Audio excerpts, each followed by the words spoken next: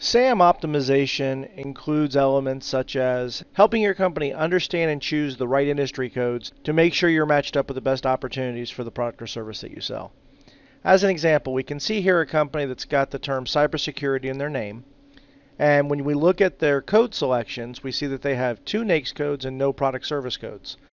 So first of all, we want to make this a little bit more robust and add some more codes to the profile.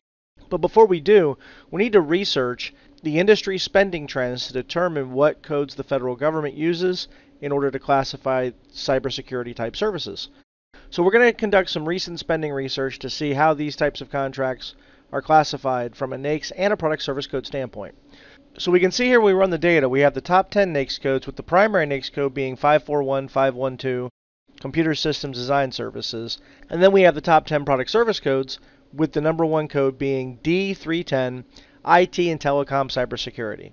So looking back at this user's profile, we see that their primary NAICS code is 541690, other scientific and technical consulting services, and we see from a spending standpoint, that code was actually 10th out of the top 10 in terms of frequency of use for these types of contracts. Not to mention, there's no product service codes in this profile at all.